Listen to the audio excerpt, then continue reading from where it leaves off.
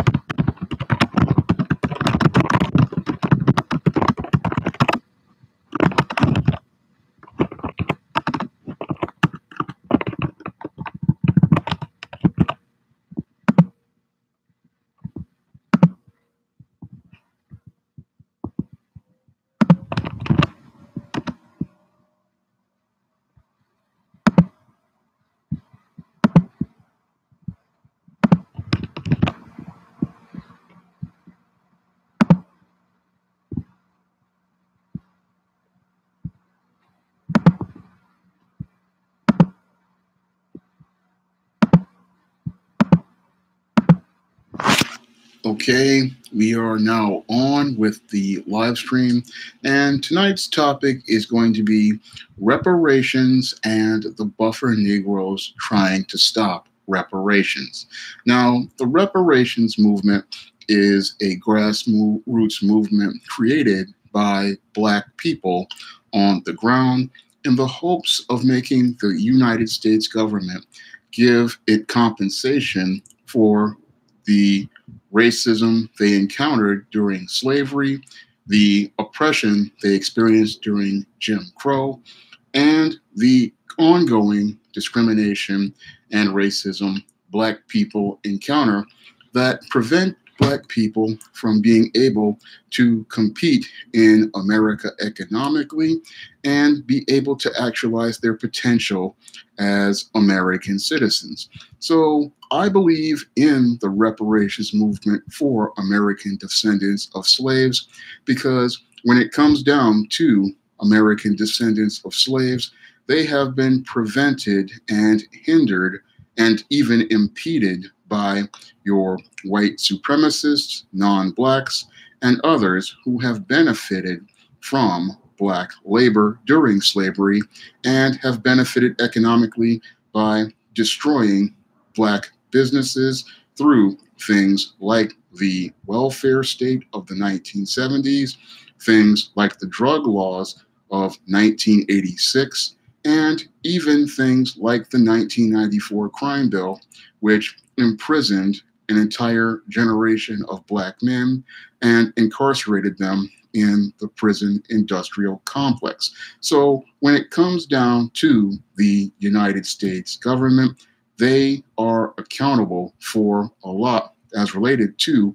the ongoing oppression of black people and those black people who are descendants of slaves they deserve to be not only compensated for what went on with slavery, but they should also be compensated for the discrimination that many have encountered and the efforts to sabotage Black owned businesses and efforts to try to destroy generations of Black people through things like these drug laws and these efforts to undermine efforts to even correct past discrimination like affirmative action. Because it seems like every time there are efforts to give Black people their due in these United States, there's always some effort to try to undermine those efforts. I mean, the original thing after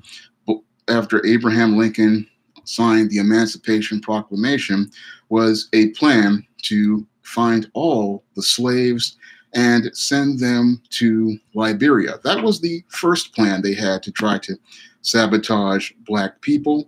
And then after that, we had a bunch of these um, people out here.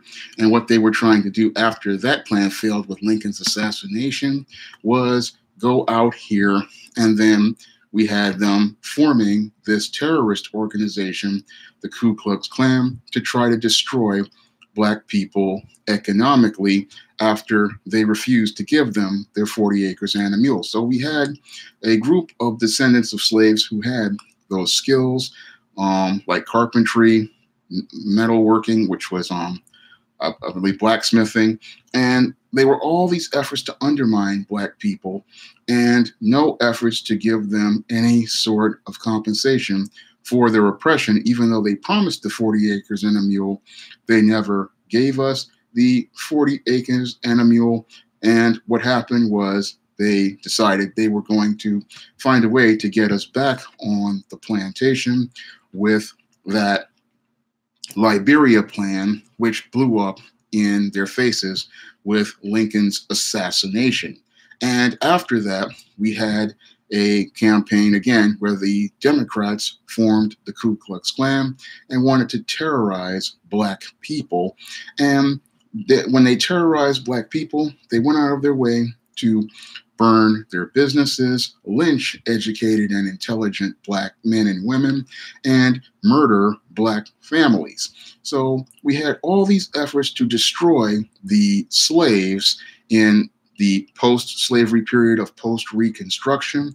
And then as time went on, we had cases like Plessy versus Ferguson and Dred Scott, which made it where it was the legal definition of the law that a black man would be considered a second class citizen, not only in the South, which enacted Jim Crow laws to, to oppress black people, but it was also in the North where we had the same type of discrimination uh, um, presented against black people.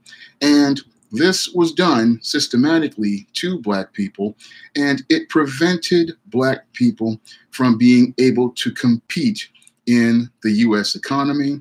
And that was really wrong because when it came down to America, America was primarily built by slaves for these white slave masters. And those white slave masters benefited from Black people building up their infrastructure and going out here and building and planting their crops and making these white people very wealthy. And they want to sit there and say, we don't want to give reparations, but you wanted to give reparations and compensation to other people. Moreover, you allowed other people to come into the country, like the Greeks, like the Germans, like the Jews, and like the Italians. You allowed them all to come into America and you allowed them to leapfrog over black people and you allowed them an opportunity to be a part of america you allowed them to have an american dream and you allowed them to have an equal opportunity at getting a part of america but black people are told they don't deserve reparations not only by your Republicans, like your Mitch McConnell, but they are also told they don't deserve reparations by your Democrats. And I believe that that whole argument is wrong. And the reason why I believe that argument is wrong is because America has waged war on Black people over the last, I say, 400 years. And even though they have given Black people some semblance of freedom, they have not given them an opportunity to actualize that freedom or actualize their potential as American citizens. Because when it comes down to many of these white people and non Black people who have benefited from Black labor and Black people being in America, they don't want to compete with those black people. So they make efforts to try to undermine the black people wherever they go, whether it be with these discriminatory policies that they have right now in the job market or these um, biased laws in the criminal justice system that punish black people at giving them longer prison sentences than they would a white person and give them more charges than a white person or doing things like giving them a black people a substandard education or an education where they are indoctrinated into white supremacy. There have been efforts to keep black people from actualizing their potential because when it comes down to whites and non-blacks they fear black competition in the american society as related to business and economics because most of these people need black people at the bottom of their world in order for their world to be smooth. Now, I've talked about this on numerous um, videos about their smooth world and these white races needing black people at the bottom.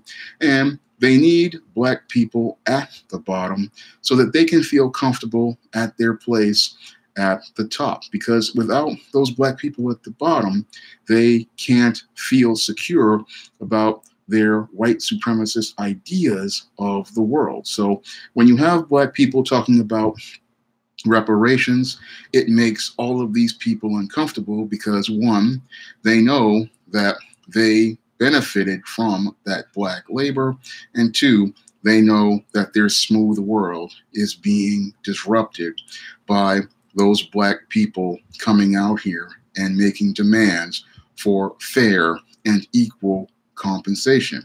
And it would it is going to be fair and equal compensation for those black people from giving and giving them reparations is fair and equal compensation because the discrimination and the racism that people are suffering, we're not just talking about slavery and giving people compensation for slavery, but we're also talking about giving them compensation for what was done to them as related to the last 50 years, because in the last 50 years, we've had entire generations of Black people not go out here and be able to actualize their potential due to the undermining of things like affirmative action, a program designed to deal with past discrimination as related to black men. However, that program was undermined by your white leftists who went out of their way to hire white women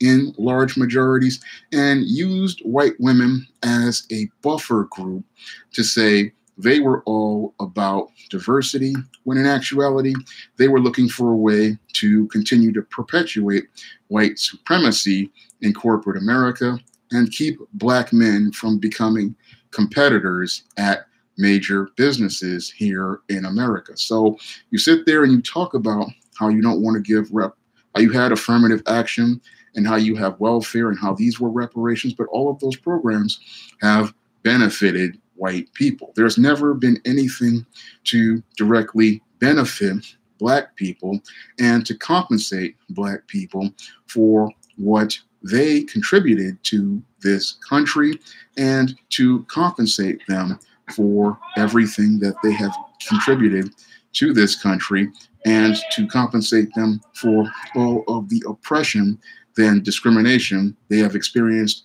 in the 400 years black people have been here. I'm going to, what's going on, JJ? Glad to see you here. Glad to see you, Nightingale Wednesday Nightmare. Glad to see you here, Courtney X, Jerry Wilson. What's up? Um, Supremo, glad to see you here. Tanya Hack, glad to see you here. Thank you for the donation, Mad Lion. I really appreciate it. And Paul Johnson, that is true. Without Black people, there would be no America as it is right now, because if it wasn't for Black people's labor, we wouldn't have the America we have right now. We wouldn't have the foundation for most of America right now because they got our labor for free and we weren't paid for that labor, our grandfathers and forefathers. And our currently, a lot of brothers and sisters can't even get into the job market because you have a buffer group of white women in front of the HR department and even some of these black women out here helping them keep talented young black men and black women out of the job market. And K Walker 98, what about the inventions made by black slaves? Yeah, that's they deserve reparations for that too. And yeah, the Democrats aren't for reparations, neither are the Republicans. So glad to see you, LOM. And when it comes down to reparations, again, there is a history of this. I mean, after World War II, Jews and the Japanese who were in internment camps got reparations. And when it came down to the Jews who were here in America, they got reparations, and we didn't even do anything to them. So there is a history of the U.S. compensating people for reparations for things they did to them in wars. So I believe it is equitable to go out here and compensate black people for everything that was done to them during slavery.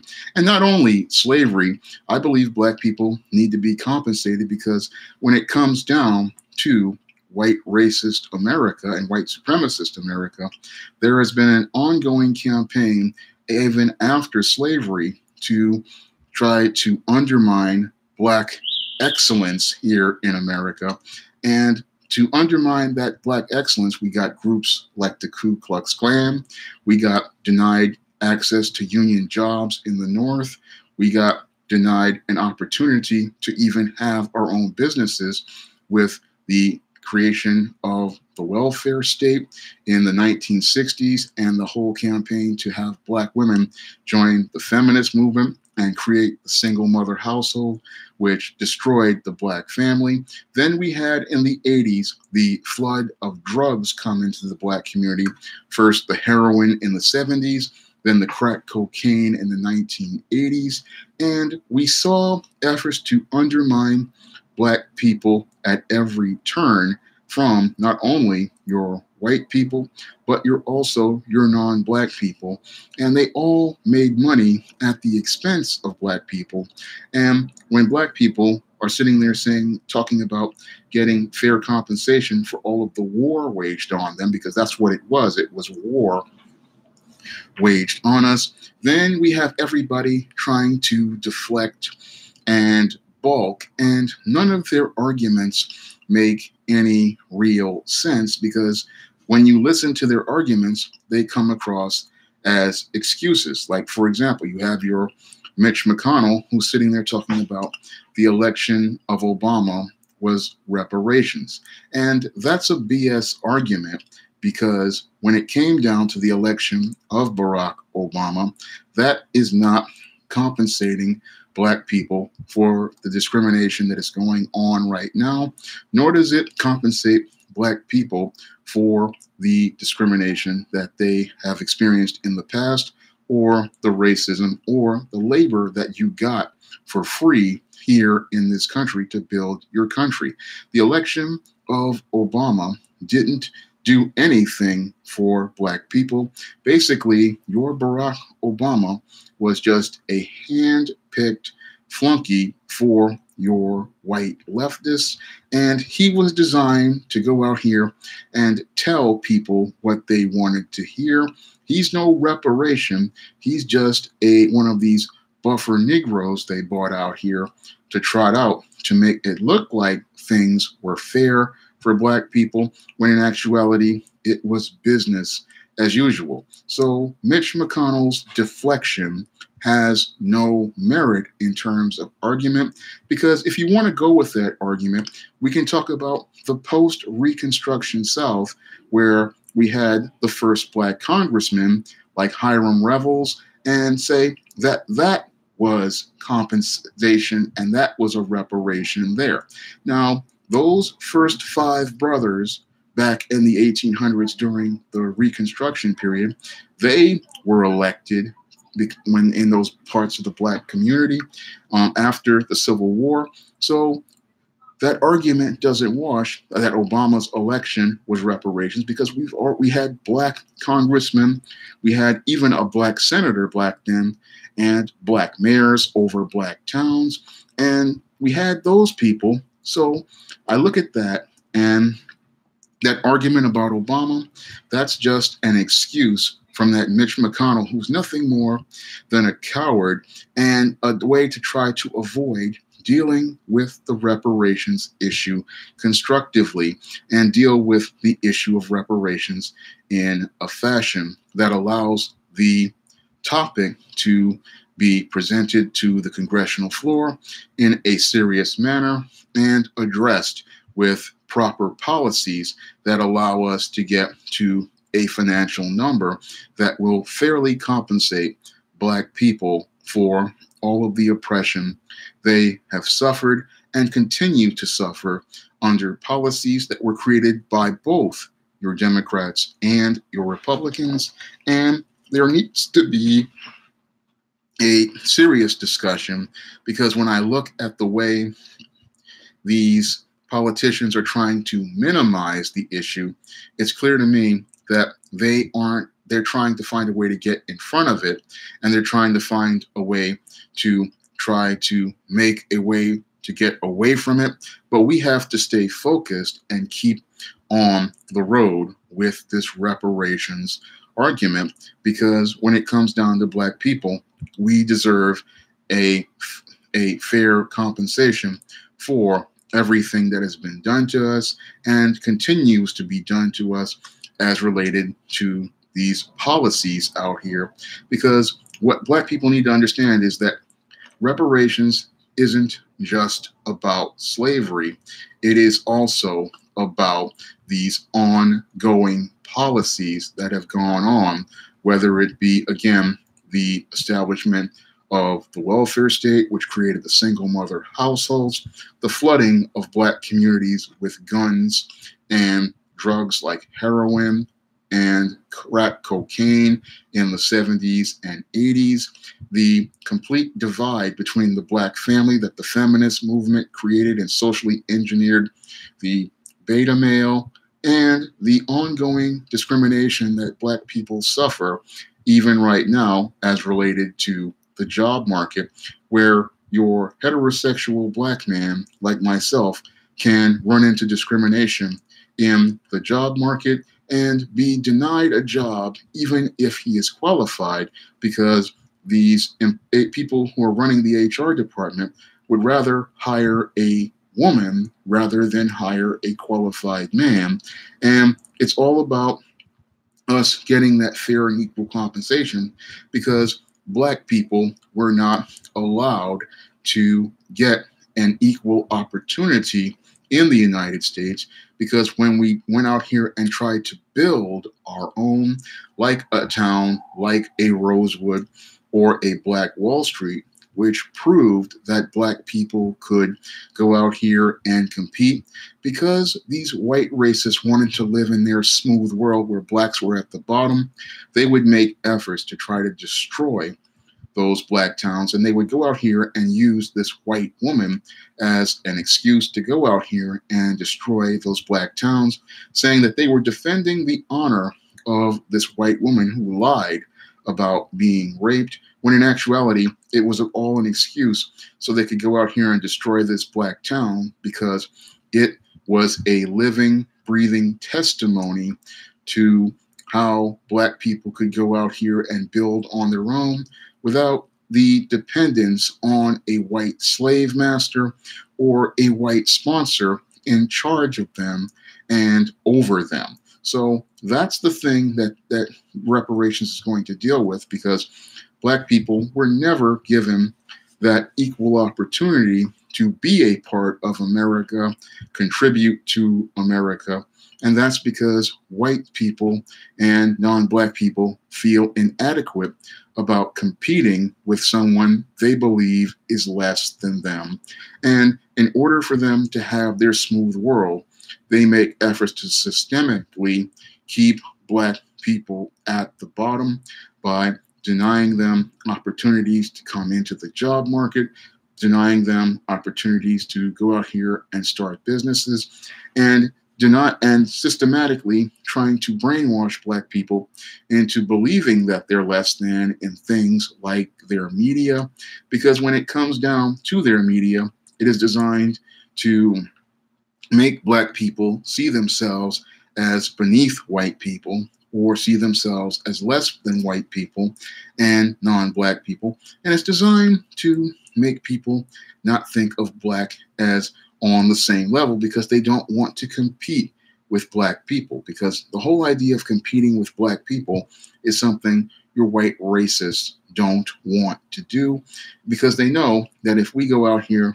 and present that standard that fits that that does not fit their narrative it shatters their whole idea of that smooth world that they have where whites are on top blacks are on the bottom everybody else is in the middle and they can live comfortably with that idea. But when you take that narrative away that means that they actually have to go out here and work and that means they actually have to they can't sit there and rest on their laurels so a lot of these whites and non-blacks they need that idea of blacks at the bottom and when you have black people talking about reparations again that shakes up the the hierarchy that your white supremacists have designed in this country, and it makes them realize that that black people are calling for their due. They're calling for fair compensation for all of the past things that have gone on so that they can start working towards building a future where they're not going to be at the bottom getting scraps after your undocumented immigrants, your Asians, your Hispanics, your whoever else, and your whites. They're not going to take the scraps. They're going to take their own money and then use that money to build their own community. And that's going to tear the foundation out from under their smooth world. And that's what's got everybody shook up about this reparations movement because it's not a movement led by these buffer Negroes out here. And that's why what we're seeing right now is people making efforts to try to get those buffer Negroes in place to try to, to undermine the entire reparations movement. I've got 49 people in the chat and 50 people in the chat. So let's get those likes up. And if you guys want to donate to the super chat, I would really appreciate it. Um, right now, I'm trying to, again, do some things. So I really would need you guys to get those likes up. I mean, we're at 49, 50 people in the chat. So I'm going to get back on this reparations topic because what's going on right now is we have a group of buffer Negroes who are trying to get in front of this whole reparations movement. And they want to try to get in front of it because they want to try to steer the reparations movement into a ditch, similar to what happened with the issues of the Black Lives Matter movement, which really wasn't much of a movement. But what they want to do is take the grassroots reparations movement and hijack it. So, what they want to do is go out here and get these buffer Negroes from Hollywood to go out here and start talking about this issue.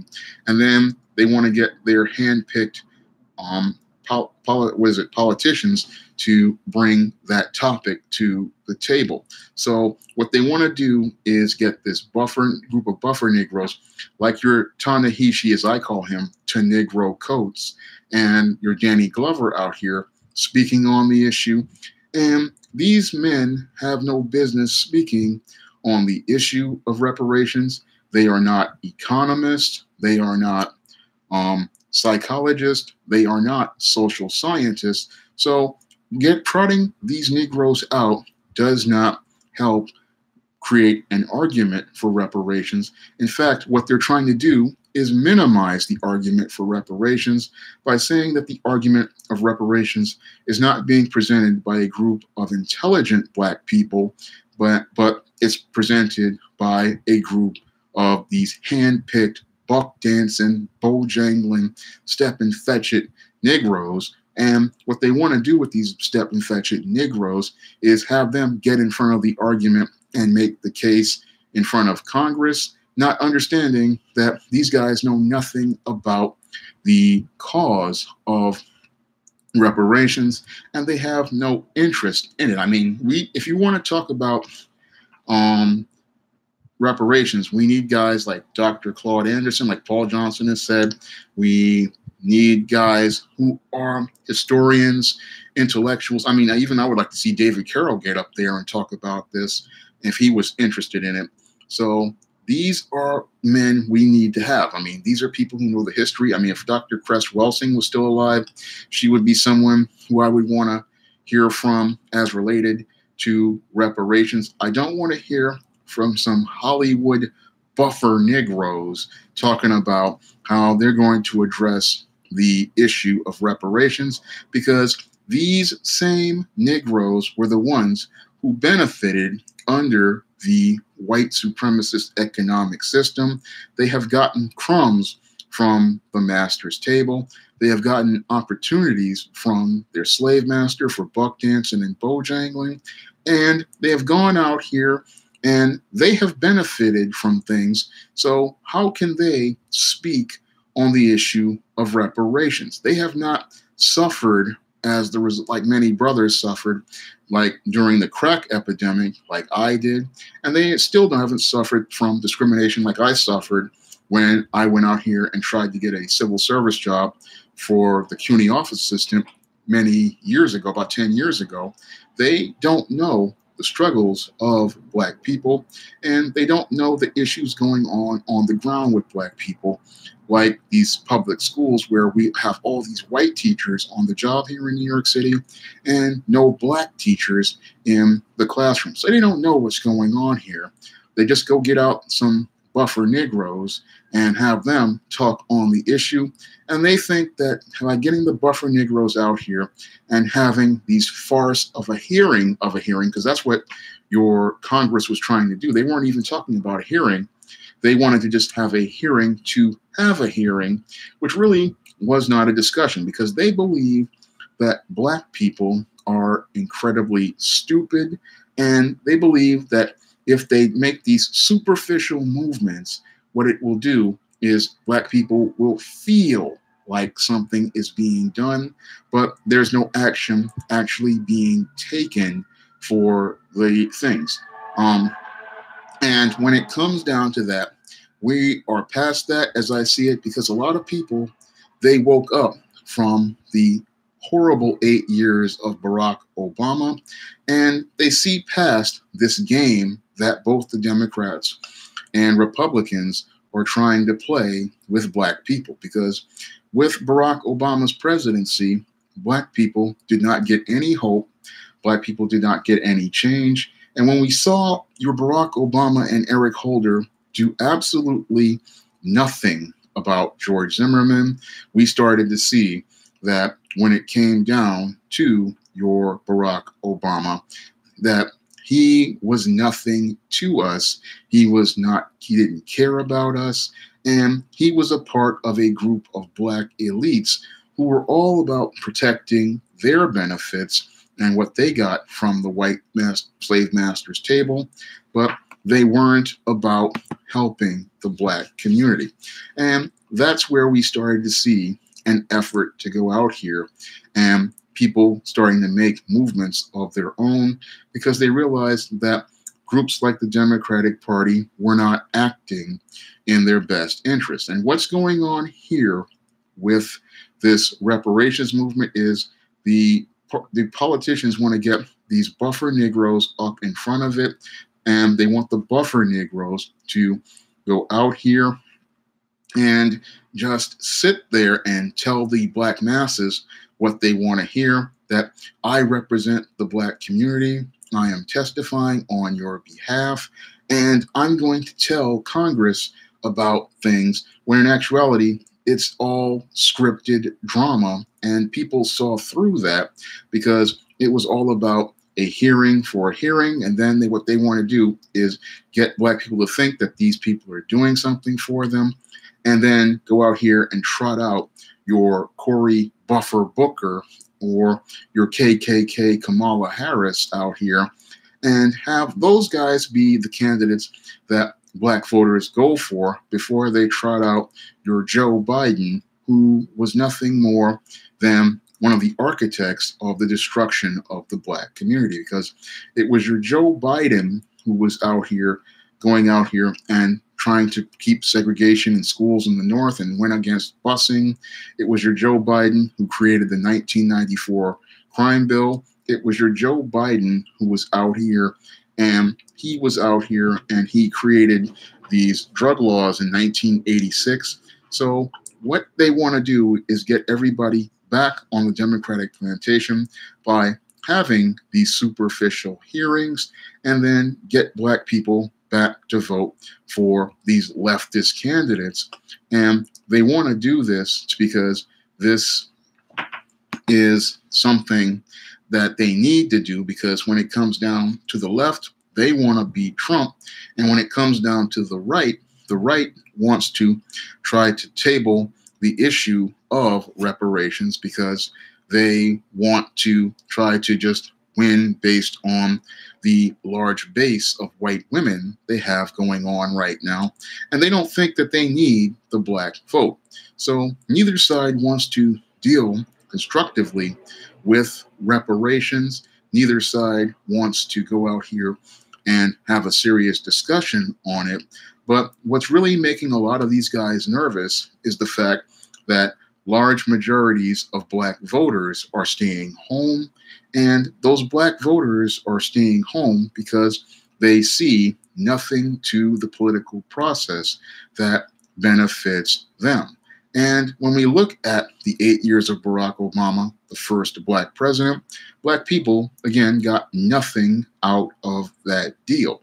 So the issue of reparations is one that is that needs to be discussed because it shows where the black vote actually stands. Because as it stands right now, if we can't get these Congress people to take us seriously, so if they can't, if they don't take us seriously, then why should we vote for either party?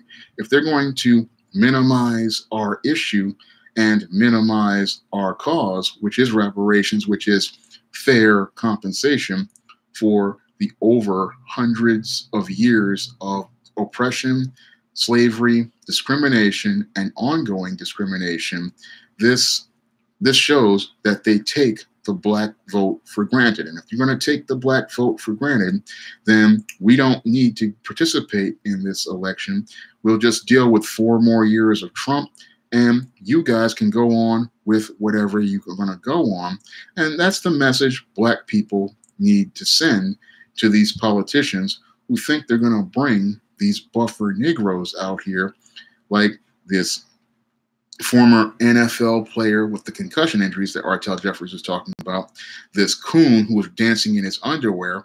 Basically, this guy is a joke. I mean, if you look at those guys they had testifying, again, these weren't people that anybody would take seriously as related to a congressional hearing.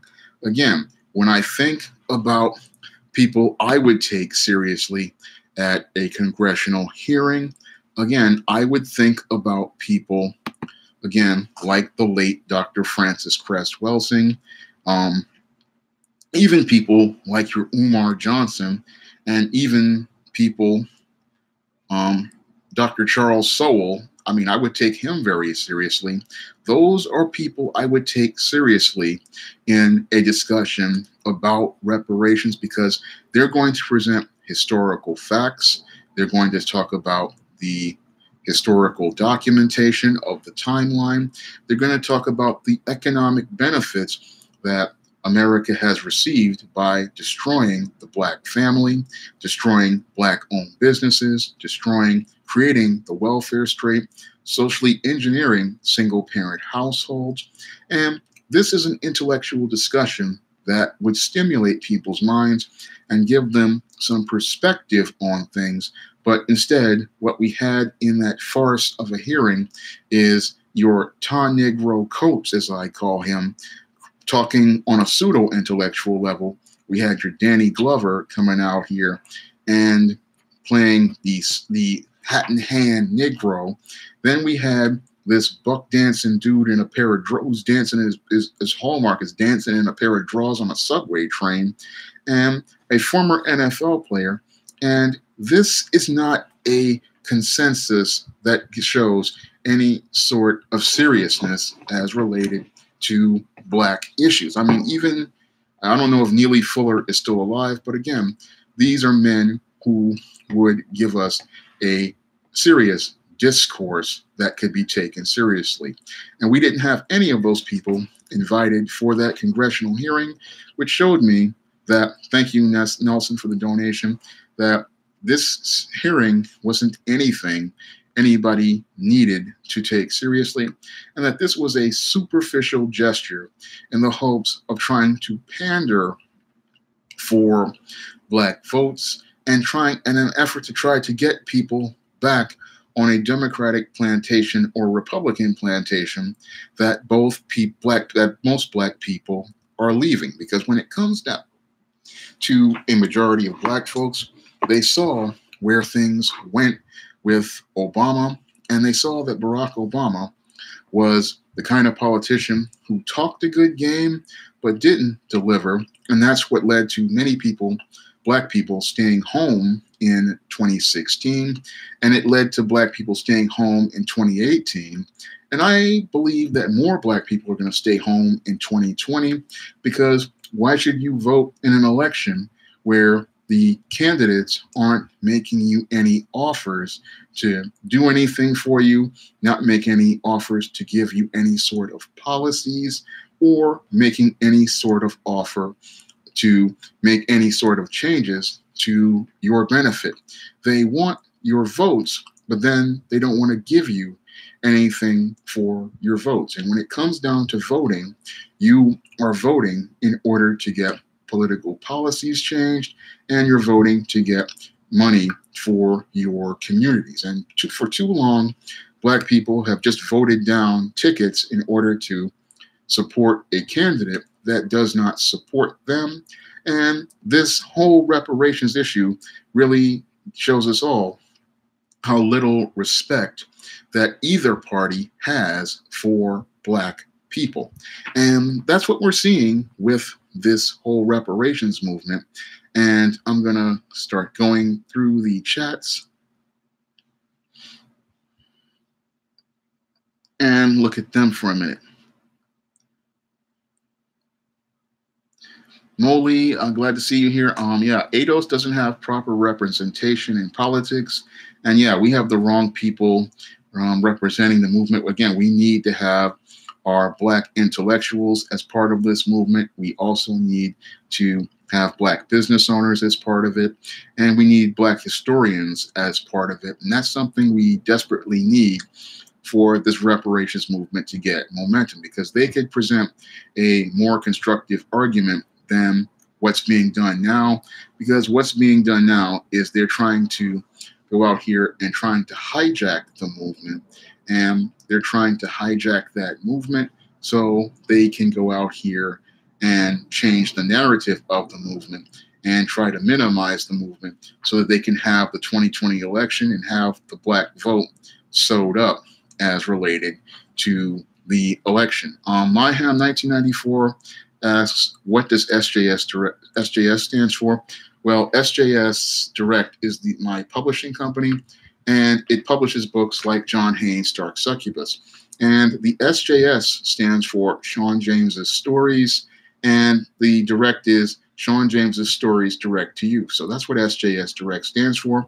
And this is my newest book, John Haynes' Dark Succubus, which is available on Amazon.com in paperback and ebook. And I would appreciate it if you guys went out here and picked up a copy. I'm going to go through the chat some more yeah, they do need Dr. Claude Anderson and they need Thomas Sowell. They need all those guys. Um, Nightingale Wednesday Nightmare or Buffer Negroes, Jesse Williams and Kamala Harris. Yes, they are Buffer Negroes. And when it comes down to Buffer Negroes, Buffer Negroes are any member of these elite classes, whether they be the Boule, whether they be Black Hollywood. Your Buffer Negroes are designed to go out here and say that they have succeeded, they have accomplished. Usually they come from these top schools, and they usually come out here to say, if I can do it, why can't you? And they're out here to tell you that there's something wrong with you when in actuality the system is working against you. They are just, you know, tokens that they use to say that they're all about diversity, when in actuality they're just puppets that they usually bring out here to try to pacify the black masses. And Barack Obama was a buffer Negro. He was a, another one of these buffer Negroes out here. And his job was to present the idea that, oh, I have arrived. And if, since we have a black president, then black people have equal opportunities in this country when that's far from the case. And usually what they do with these buffer Negroes is, again, whenever black people start calling out for issues like reparations, they go and trot them out, and then they have them speak and pretend to represent the black community and have them go out here and tell the black masses what they want to hear and make black people feel good. But then in actuality, they go back to business as usual. So that's what a buffer Negro is, and that's what the Democrats and the Republicans are trying to do. Trot out all these buffer Negroes to go out here and have them go out here and get in the way of reparations and then have them try to re- represent the argument for reparations. And then when it fails, then have people sitting there blaming the buffer Negro for the problems, when in actuality, it was them just trying to get control over a grassroots narrative and control a grassroots narrative. Because that's what buffer Negroes go out here and do. They just out here to be the mouthpieces for these these white politicians, and what they want to do is be that voice for them. But the whole way, the whole thing is everything that they're saying is what they're told to speak, and they're not hearing the truth from the people. Um,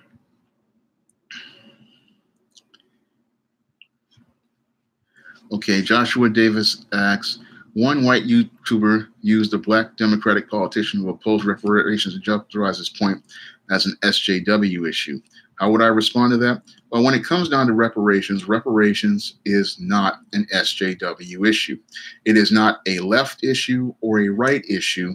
It is an issue that black people are bringing up because when they look at this country and they look at the opportunities that they have been denied been denied systemically they are sitting there and saying i'm not getting what i deserve for being a part of this country. I mean black people built this country during slavery and then when they were given their freedom they tried to go out here and have an equal opportunity only to be undermined and sabotaged by groups like the Ku Klux Klan, which terrorize black people, or to be denied jobs and equal opportunities in the North. Because in the North, yes, you could get a job as a porter, a janitor, or a chauffeur in during Jim Crow, even if you had a degree from a place like Spelman or Morehouse, you couldn't be a lawyer or a doctor at many of these company at many of these hospitals or these um, even for the government you couldn't work the job you got the degree in. You had to go out here and work these jobs because these racists didn't want to hire black people as lawyers doctors engineers scientists. They didn't want to hire black people for those jobs because they feared that oh, if we bring this black man around these white women, the white women will lust after the black man, and we won't get an opportunity to have a relationship with these white women. So that's why black men were denied jobs in places outside of black owned businesses. And even when black people tried to have black owned businesses, we were attacked by the Ku Klux Klan or we were um, locked out of certain things, or we were relegated to neighborhoods that were redlined. And even when we tried to buy homes, we were stuck in ghettos because your discriminatory housing policies kept Black people from being able to buy the homes that they wanted, live the lives they wanted, and get that opportunity to be a part of the American dream and get that opportunity to be a part of America. So when I look at reparations, it is about compensating Black people for everything and these whole 400 years, not just slavery, because welfare was not compensation. Welfare was a way to, again, take black people out of the economy and keep people, black people, from competing. Because what the welfare state was all about was sabotaging the black family by separate by taking the black father out of the home and giving the black woman the welfare benefits and then having her raise her children in the single mother household where the children never grow up to actualize their potential. And even if they do finish school and do things like that they go into a discriminatory job market where they are told they can't go out here and get the jobs that they're qualified for. And I can test to that because I have a college degree and I've been going out here for years trying to look for work. And what I run into is this HR brick wall where, yes, they will go out here and hire a handful of buffer Negroes here and there, but they won't give, but these buffer Negroes don't want me on their job because they don't want direct competition and they want to be the HNIC, the head Negro in charge. So this fiefdom gets broken up when you have reparations, because with reparations, black people get that fair compensation. And once they get that fair compensation, they can go out here and start building that life they wanted to have and start working towards actualizing their potential. Now, that's the ideal that would come out of reparations. And some people think it's going to be like Chappelle if you were to get reparations, where people would be buying fried chicken. But I believe that if you give Black people an opportunity, they would go out here and build businesses, they would build infrastructure, and they would start working towards improving the quality of life in their communities. And that's something racists don't want to see because they benefit from Black people being at the bottom of the world.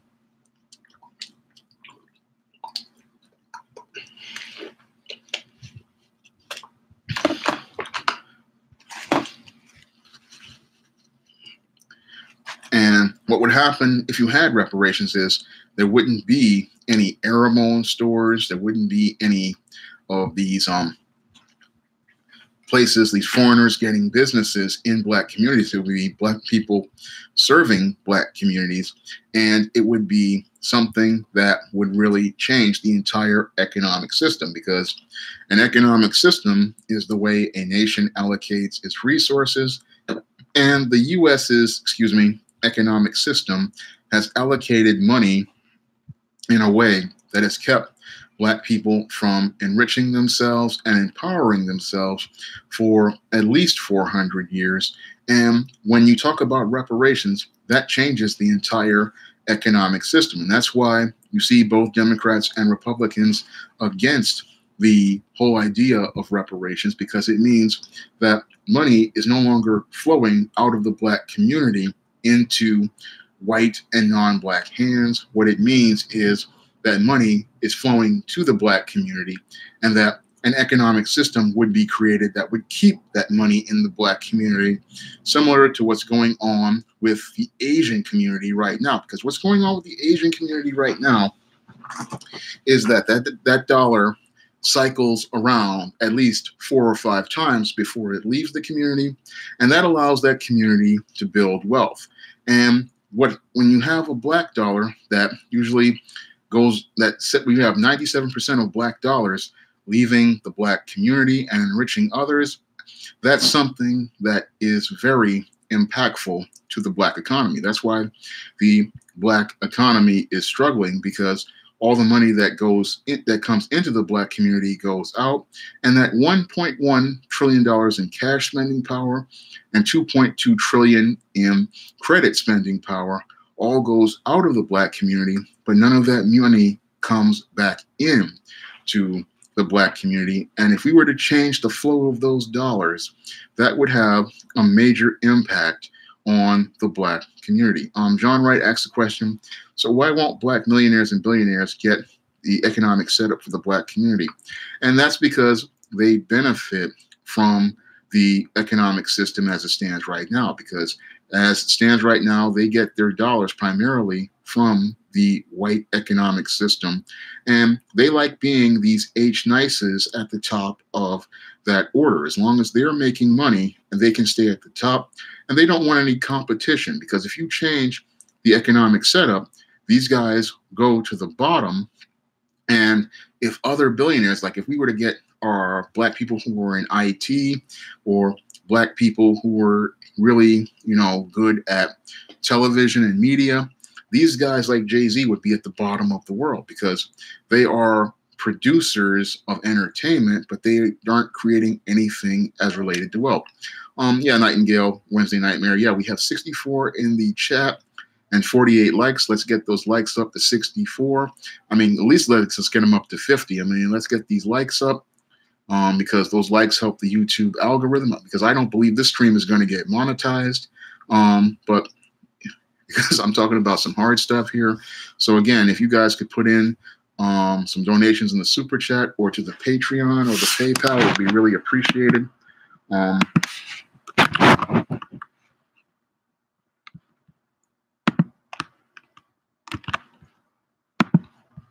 So I'm gonna leave a link to the Patreon so you guys can donate to the Patreon. Um, also gonna leave a link to the Cash App.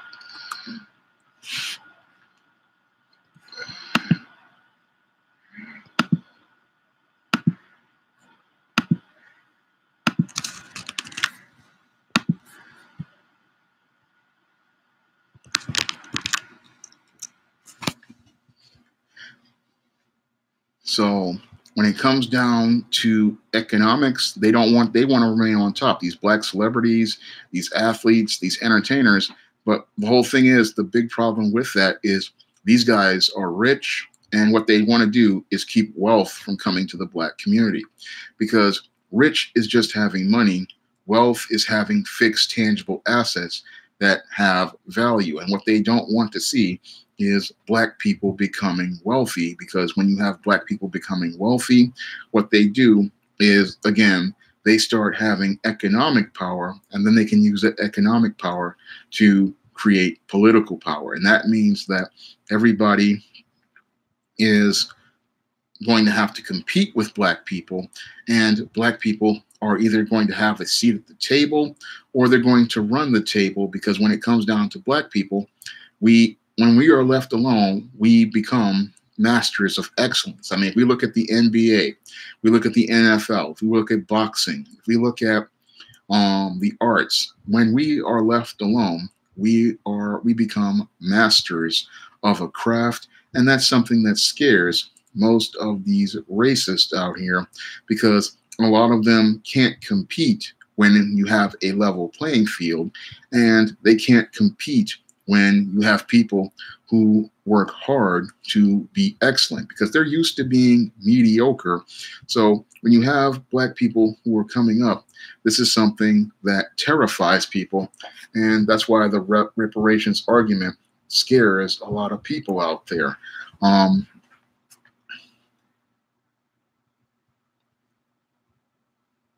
Luciano, what was your question? Um, if you're reading how can I get more educated on reparations from an economical power standpoint? Well, you get you can get educated by reading different articles, and you can also really get educated by watching guys like Professor Black Truth, and you can get educated by just reading about the history of the United States of America.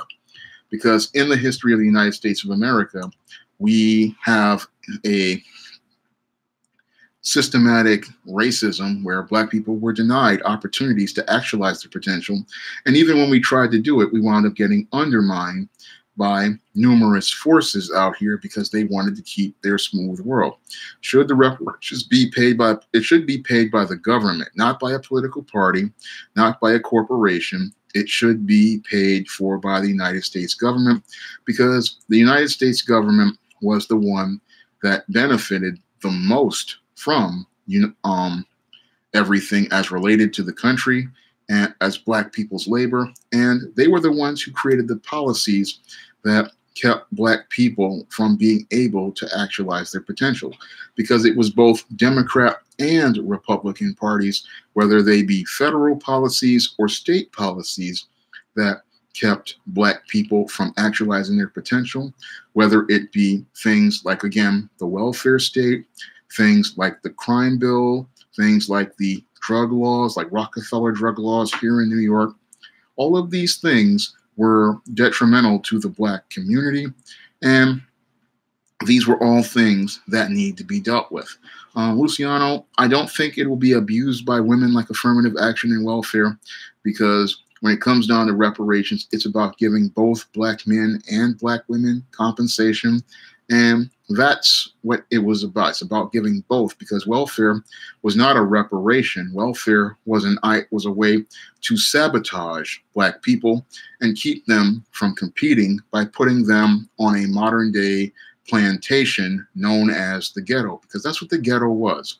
The ghetto was a plantation and it was designed to keep black people contained so that they would not go out here in the world, they would not go out into the job market, and they wouldn't go out here and compete. So as long as black people were in these ghettos selling drugs to each other and killing each other, there was no problem. But once we started going to get our educations and starting to look for jobs, then we had a problem. Then the racists had a problem with black people because they didn't want to compete with black people. They wanted them to know their place, and they wanted them to know their place in the smooth world. What's going on, Chris Brown? Um, Chris is the creator of Omega Black, some really positive black manga, which shows you a positive image of a black man and a black family.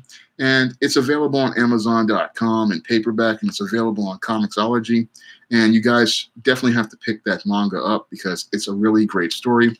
And he's trying to get the third issue out, and I'm hoping he can get that third issue out because we need more content like that out here, just like with the John Haynes series and John Haynes Dark Succubus. And again, guys, I really would love to see you guys pick this book up and John Haynes, A Conversation with Death as well. Um, yeah, but I believe the government should be the one that pays for it, and also maybe a couple of car- these corporations who have gone out here and gotten black black labor and exploited it. Um, if we can prove it, it should be compensation because again, Native Americans have gotten compensation with reparations. I mean, your Jews, your Japanese, they've all gotten compensation. And why can't black people get reparations from what's going on? Um, what's going on. I mean, it's just we've been around here before everybody else, but nobody wants to talk about compensating us. Whenever we start talking about compensation, they, then people get all defensive, but they've got money for everybody else except the black people who have gone out here and built the country and have contributed to the economy. Um, thank you, Rob IS. I really had to go in depth with this week's videos. Um, really wanted to go in depth on the subject, especially the one of 1989, because I wanted people to understand the context of 1989, because a lot of people are watching Netflix's When They See Us. And as they sit here and watch When They See Us, they're just looking at it from the perspective of the four teenage boys and not understanding the historical context of what was going on during that time. I mean, you're Ava DuVernay did a great job with that series, but she left some context out as related to the the complete destruction of the black family with the crack epidemic, and she didn't talk about the crime that was going on, nor did she really delve deep into why Korey Wise was staying out of school. And the reason why he was staying out of school is because those schools were war zones. And I talked about that in my novel Spellbound. I talked about how those schools, you know, were war zones and it was literally a fight for your survival um, during that time. So, um, Rob, Rob IS, I don't think, what I don't know if black people will be asking for reparations 100 years from now, but we need to have a discussion on it today. And the whole thing is, is that the discussion people are trying to have on reparations is being undermined by a group of politicians who are trying to turn it into a joke. This is a serious discussion that I believe needs to have a serious discourse, and I believe we have the people to make that serious discourse, like your Claude Anderson, like Thomas Sowell, and many others who are highly intelligent and can articulate an argument for it. And what I'm seeing is that you have people in Congress who are trying to turn it into a minstrel show, and they're trying to turn it into a minstrel show so that they can try to minimize the issue, dismiss the argument, and then try to get black people back on their political platform and vote for their candidates. And that's a real slap in the face to black people because you're showing that you don't take the black community seriously. You don't take the issues of the black community serious, seriously, and you treat your black voters like a joke. And this was the same argument that led to Hillary Clinton losing in 2016 because she took the black vote for granted and a lot of the black vote stayed home. And in 2018, we saw the same thing happen as related to the Democrats and the Republicans.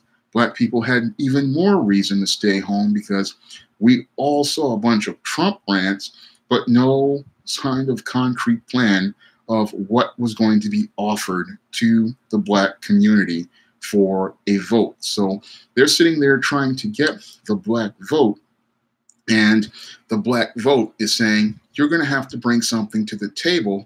And they want to sit there and they're expecting black people to just sit there and just vote for them because they're not Trump. But that argument does not wash these days because people are saying to themselves, you're not Trump is not an argument. What we want to hear and what we want to see from you is a concrete plan of what you are going to offer us in return for your vote. What policies are you going to offer us? What kind of programs are you going to bring to our communities? What resources are you're going to bring to our communities? What you are going to offer in terms of policies? And what are you going to do about issues as related to black unemployment? What are you going to do about these black men being brutalized by police officers? What are you going to do about these malicious prosecutions, which still go on? Because with the Netflix series, When They See Us, they wanted to talk about the Central Park Five. But I can bring up Chanel Lewis, the young man who was mentally disabled and was prosecuted and convicted for the murder of Karina Vetrano, a crime I know this young man did not commit. And I can also talk about Bill Cosby, who was railroaded by the criminal justice system for a sexual assault that he did not commit. So the policies are still there. And why should we continue to vote for these polit- political parties that aren't going to change the policies to deal with these issues. It's just better off for black folks to just stay with Trump because you are not offering us anything different. And what your candidates are no different than Michael Dukakis and Walter Mondale back in 1984 and 1988. And you hear a lot of these SJWs talk about how the internet is becoming like 1984. Well, the irony is, is I believe we're going to get a 1984, but it's going to be Reagan Mondale 84, where your Walter Mondale was destroyed by Ronald Reagan and won 49 states, whereas I'm going to see that happening if they bring your Joe Biden or whoever. Trump is going to win 49 states, and that we're going to get the exact same 1984. And a lot of people are going to be sitting there wondering how that happened. And it happened because people keep taking the black vote for granted and they keep trying to pander to black people instead of trying to listen to the platform that is being built. And I believe that the ADOS platform is something that um, is really viable. And I believe we can use that as a way to start building a platform because you have to sit there, you're going to sit there and tell us what you're going to give us. No, it's, t- it's time for people to start telling the politicians what they want because they're the ones voting for them. And we're the ones you need to come to. I mean, you represent us, we don't represent you. And when it comes down to the black community, that has been the standard for over a couple of decades. They've sat there and said, oh, we we we represent black people and we just take them for granted. We don't really give them anything. And now when black people are demanding things, you want to dismiss us. So if you want to dismiss us, then you deserve to lose elections. So um, Rob IS, did Walter Mondale have racist tendencies? I don't know if he had racist tendencies, but I know that he was a very arrogant candidate. I mean, he was the vice president of Jimmy Carter. He tried to push a diversity initiative where he had Geraldine Ferraro, the first woman vice president, and it all fell apart on them because Ronald Reagan did the morning in America and he straight destroyed Walter Mondale. And then four years later, George H.W. Bush destroyed Michael Dukakis. And when I look at your um, Donald Trump, I believe what he's going to do is he's going to destroy Joe Biden if they send him out there the same way George H.W. Bush destroyed Michael Dukakis by beating him up on that crime bill the same way George H.W. Bush beat the crap out of Michael Dukakis on that Willie Horton situation because Joe Biden was the one who created the policies that led to a lot of black suffering and led to the destruction of black families and led to so many black men and women winding up in prison for years on mandatory minimum sentences and winding up in jails for years. And then you're Kamala Harris, who was one of the proponents for the three strikes law and did draconian policies. She was out here and she's going to fall apart because, again, you're coming out here talking about you're a black candidate, but you went out here like Barack Obama disrespecting black people. So I see where both of them are going to fall. And when it comes down to them, they aren't viable candidates. And they and there's people are looking at them and saying, look, these guys just aren't strong enough to take on Trump.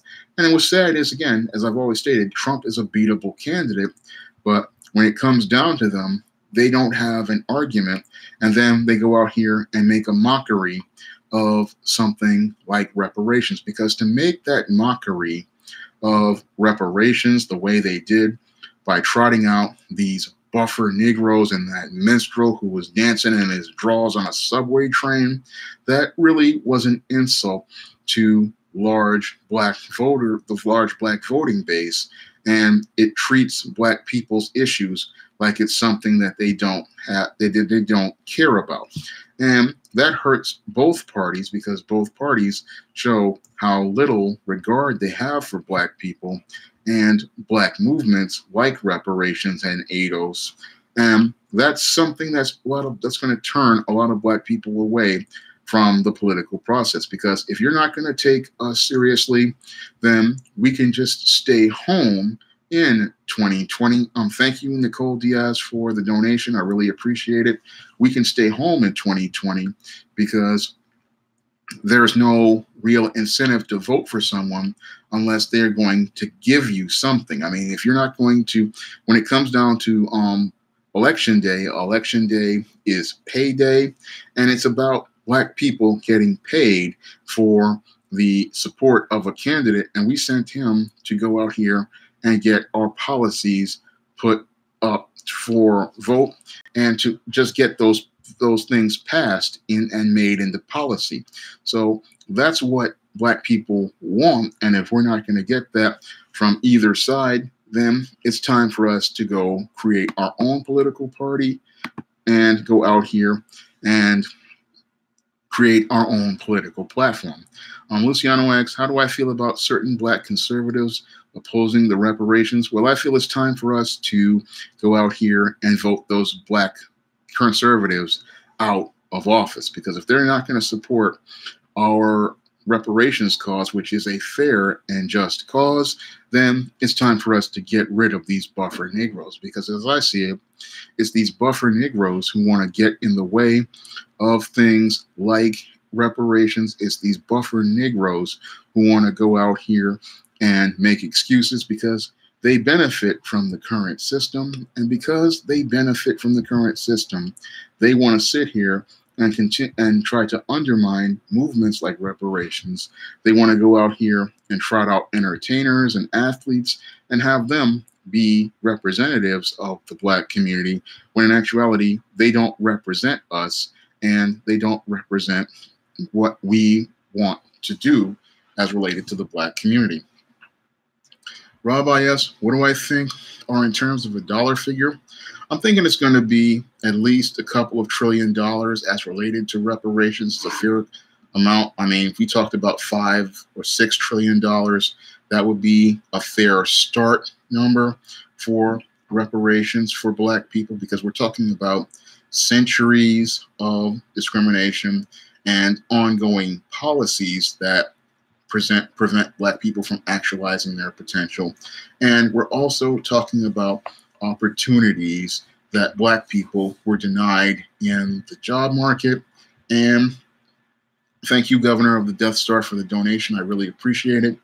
Um, if you guys want to donate to the super chat again you can donate through super chat or you can donate through the cash app the paypal or the patreon. Um, because this this stream is not going to get monetized. I'm sure it's not going to get monetized. Um, um, lift every voice. I believe we should demand not only from the U.S. government but also these other countries as well, because they all benefited from black slave labor. And if we can go after them, but we have to start with the U.S. first, and then go after these other countries because they all benefited from the transatlantic slave trade. They all benefited from keeping black people out of the job market. They all benefited from keeping black businesses from achieving their success.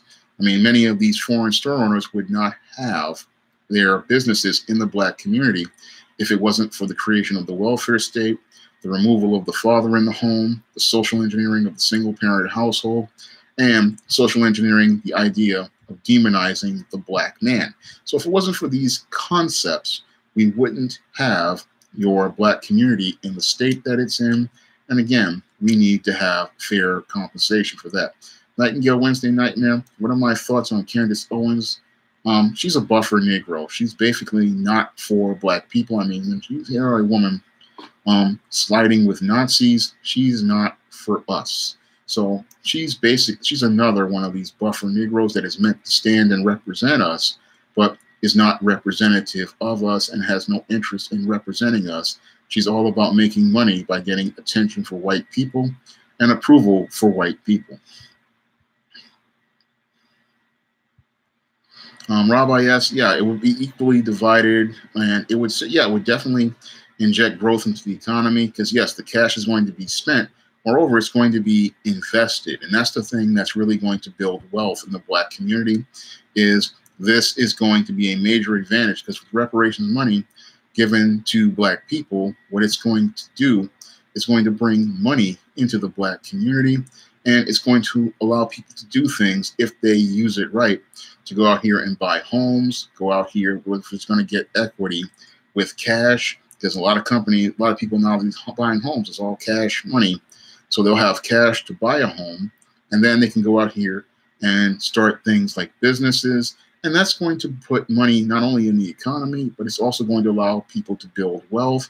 And it's also going to allow them to go out here and start businesses.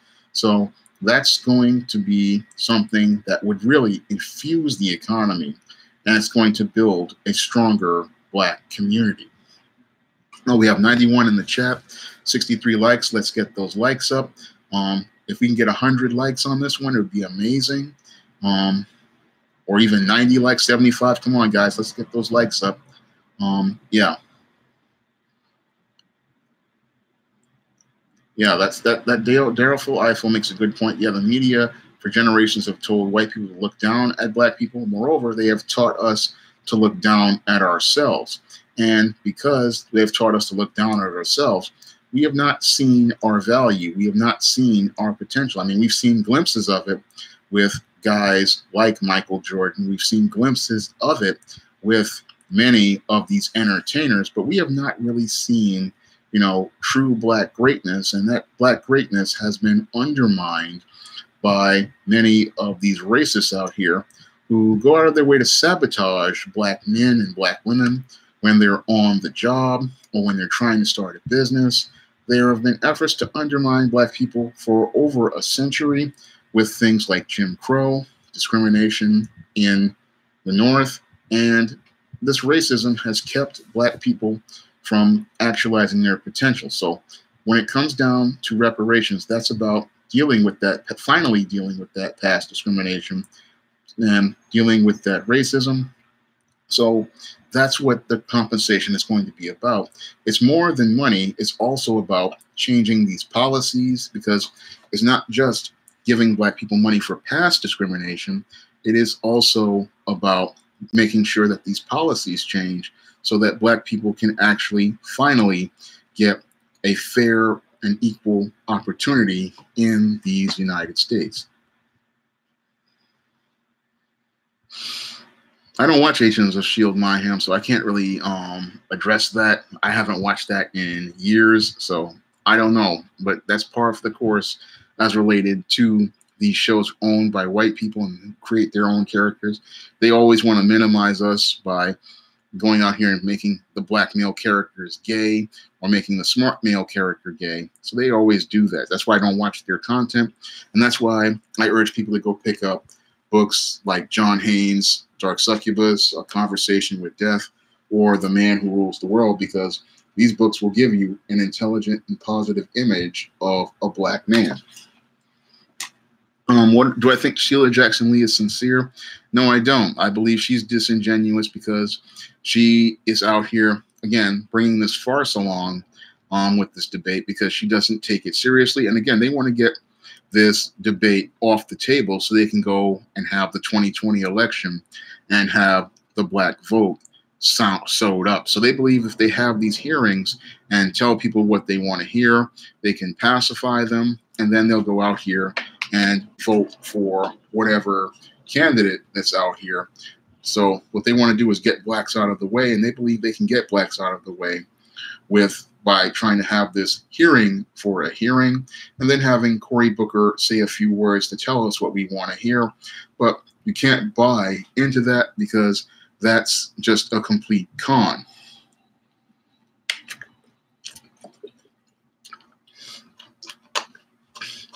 Um, governor of the Death Star. Um, how far do I think Cory Booker and Bill de Blasio are going to get in the Democratic Party?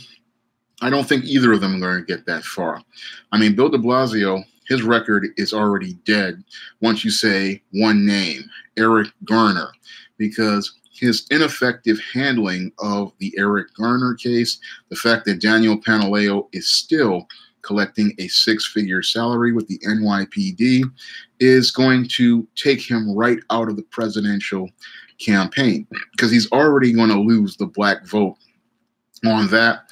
In addition, the way he has run New York City into the ground is also another reason why your Bill de Blasio has no chance because New York City is turning into a cesspool similar to what it was in 1989 because crime is going back up, the quality of life in parts of the city is going down, and he wants to do things like build homeless shelters in neighborhoods like Parkchester, and he wants to go out here and build a jail in Mott Haven, and he wants to destroy neighborhoods with his plans. And people are just going to beat the crap out of Bill de Blasio on his plans. They're going to beat him up on Eric Garner, and they're going to beat him up because he's just a very weak and ineffective leader who really is wishy washy and soft. Not to mention, he is not a unifier because he's still feuding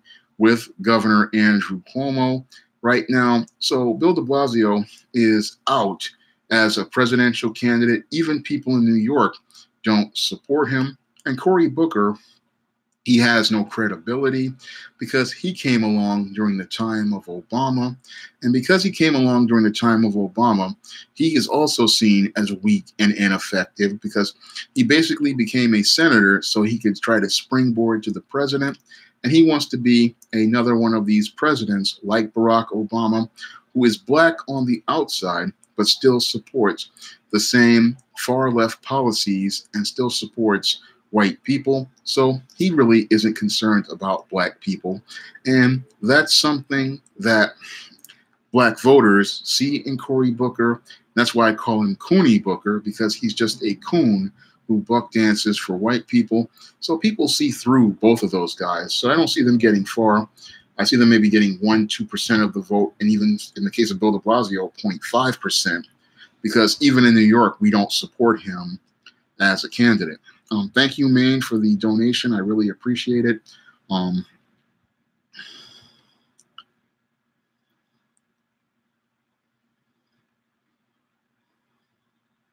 I'm at Rob IS, I would love to run for the congressional district of Alexandria Ocasio Cortez, but I haven't been here that long and I don't have the signatures. But I would love to take her on and represent this district because she's an idiot and she doesn't really understand the needs of the people. I would love to just take her on and then take that um, seat from her because she's not representing the people the way they need to be represented. Um, Rob do you think New York will ever return to how it was in the early to mid 1980s. It's returning that way right now, and your Bill de Blasio, because of Bill de Blasio's apathy, and Bill de Blasio is one of the worst mayors. I have to say, he is one of the worst, but the worst, um, to answer Edek's question, was Ed Koch. Ed Koch was the worst New York City mayor.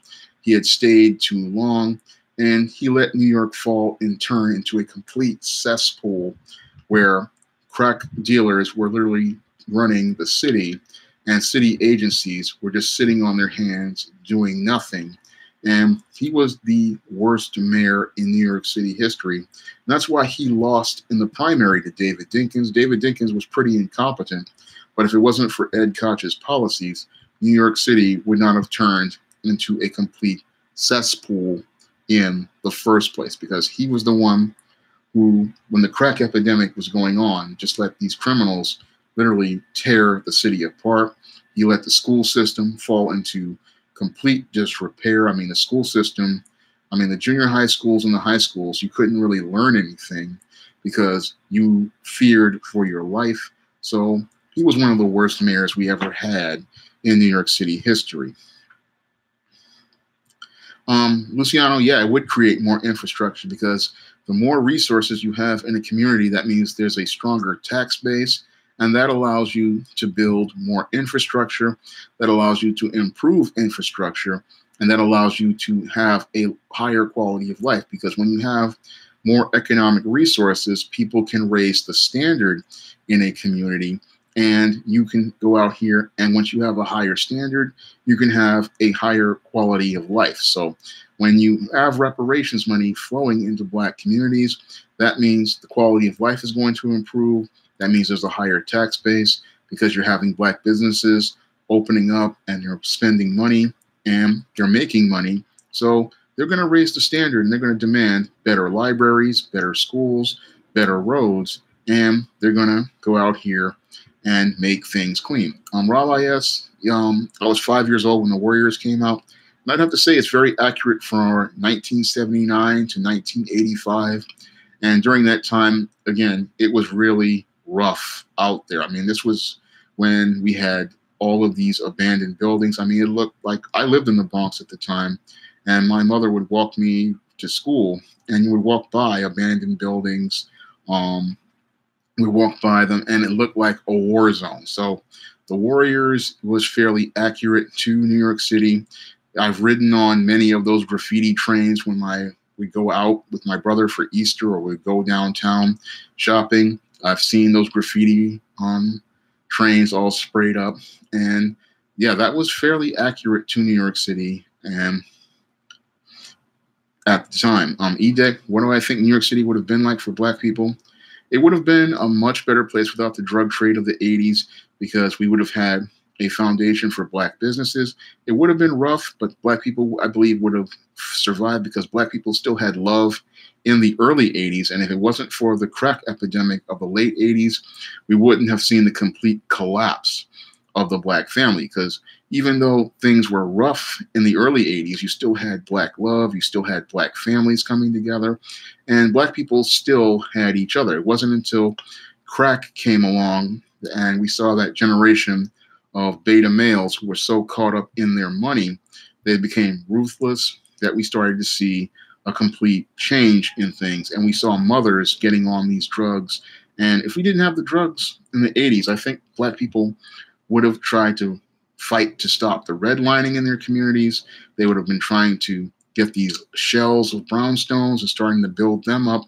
I believe they would have really gone and built up a strong community. But if it wasn't for crack and the welfare state, I believe that we would have had efforts to build a better black community.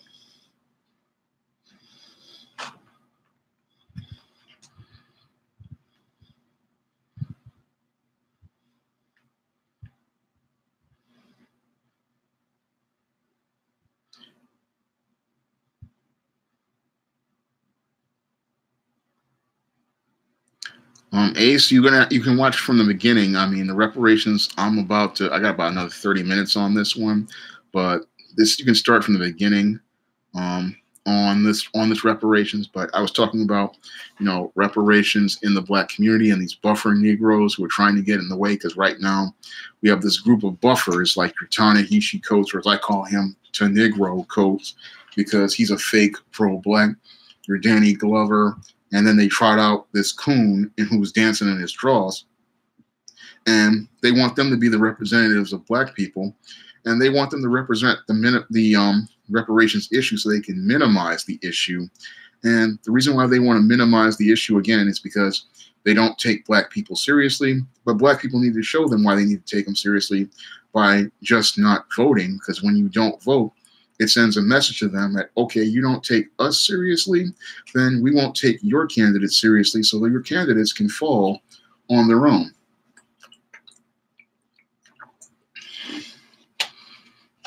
So since you don't want to represent our issues we don't need to represent you.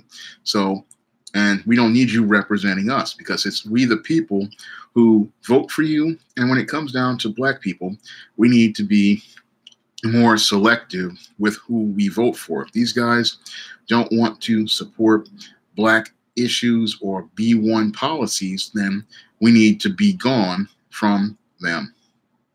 Um, EDEC, do I don't fear an all conservative Supreme Court. When it comes down to the Supreme Court, they interpret the laws, and the laws are created by we the people. So when it comes down to us, we have to make sure that our candidates represent us and represent the laws we want represented.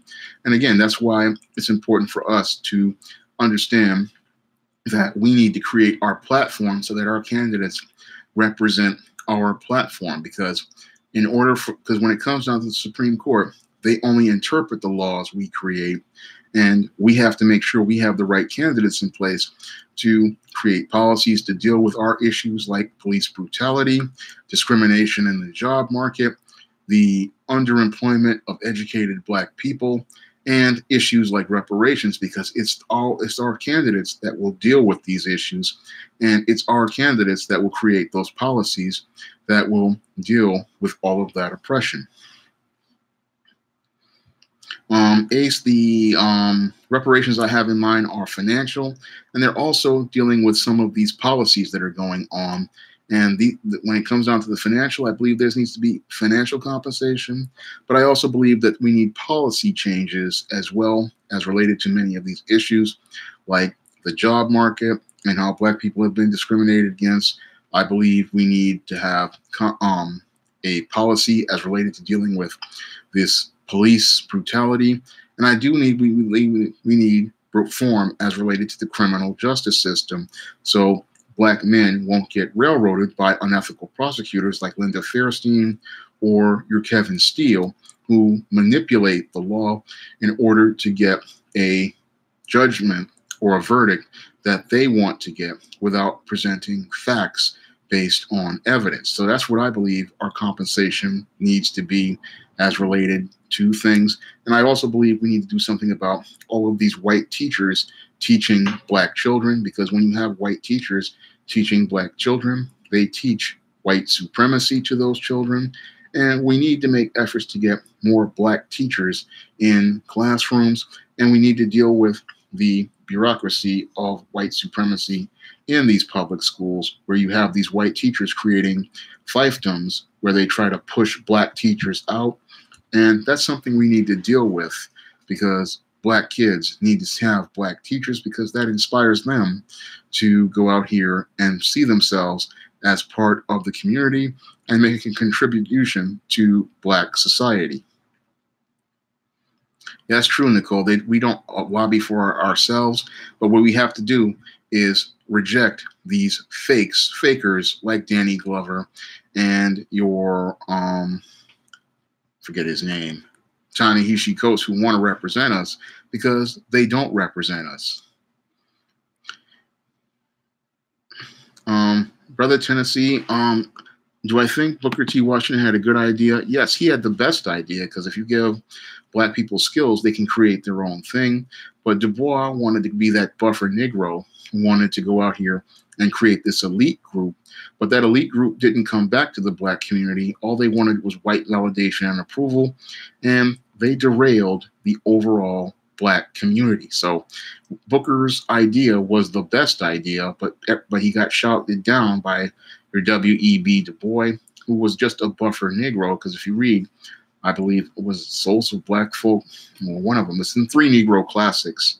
Um, he was all about this talented tenth, but that talented tenth was all about white approval and not about black empowerment. Um, EDEC, what makes Danny Glover a fraud on the issue of reparations for Black Americans? He is not qualified to speak on that issue. And the reason why he's not qualified to speak on that issue is because he has received so many benefits from being an actor.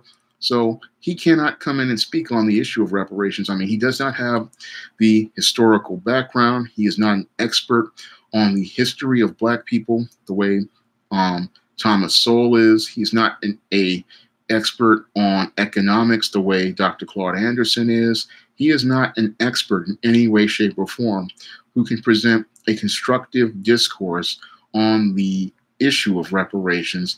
And we needed to have a qualified individual who understood these issues. I mean, people like Claude Anderson, people like um, Thomas Sowell, people like um, there's another economist, um, but we need people who understand economics. We need people who understand history, and we need people who understand the issue, who can present an argument to black about black um, discrimination for decades, racism, slavery, and present it in a constructive fashion. So we needed that type of individual present the argument, not some Hollywood entertainer who has benefited from the system, has gotten rich from the system, and has not really suffered outside of being racially profiled outside of the supermarket. He can't really articulate the systemic issues as related to race so and how black people have been denied an equal opportunity here in America and we can't he can't articulate the discussion at all. So um, Nightingale Wednesday Nightmare, that's what my family member who worked in education told me. Um, she said that there are a lot of white female teachers. Yeah, they think they can control black children. Yeah, they and a lot of them think because they have biracial children, they have that right. But no, you don't really understand the black experience. You don't understand black culture, and you don't really understand what these kids are going through. And when you come into the classroom, when you have that white skin, what they do is people submit to you immediately because they see your white skin as authority. And that's what mentally messes those kids up because if that white person says your kid is stupid, they'll sit there and believe it. I remember being in a third grade class. Um, one of my teachers said that I was retarded, and then every kid in that class since then believed that, and I couldn't prove it to anyone, all because this white female told them. Um, Governor of the Death Star, I don't believe we will be at war with Iran because when it comes down to war, Americans have had enough of war. I mean, we've been in war in Afghanistan for 20 years. We've been in war with Iraq for 17 years. American military is already spread too thin as it is, and we just don't have the manpower to have another war with another country, nor do people have an interest in getting in a war with Iran because we just don't have the manpower, we don't have the resources. It's a lot like the Roman Empire right now.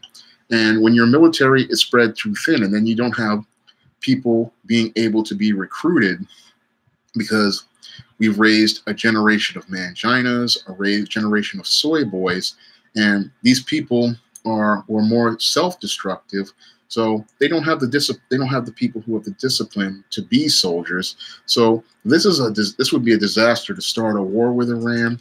And if Trump started a war with Iran, he would actually lose the election. It's just not an effective strategy because they haven't really done anything at all.